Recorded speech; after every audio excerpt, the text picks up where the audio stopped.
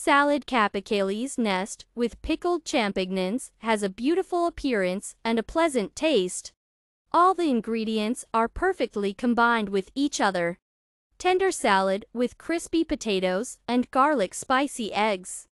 Be sure to try it. Enjoy your meal, cut the ham into strips. Boil the breast, cool it and disassemble it into fibers. Boiled eggs are divided into whites and yolks. Proteins are grated on a grater. Cut the mushrooms into slices. Peel the potatoes and grate them on a grater for Korean carrots.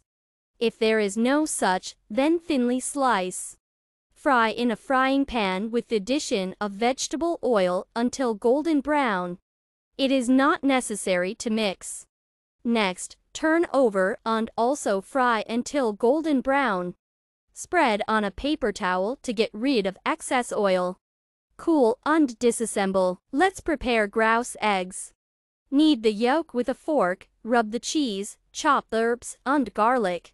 Add mayonnaise and mix. We form eggs and put them in the refrigerator. Mix the prepared ingredients for the salad, chicken, ham, mushrooms, proteins. Add mayonnaise and mix thoroughly. We put lettuce leaves on a plate. We spread the salad, and in the center, we make a recess. We distribute the fried potatoes on top, covering the salad. Put the eggs in the recess.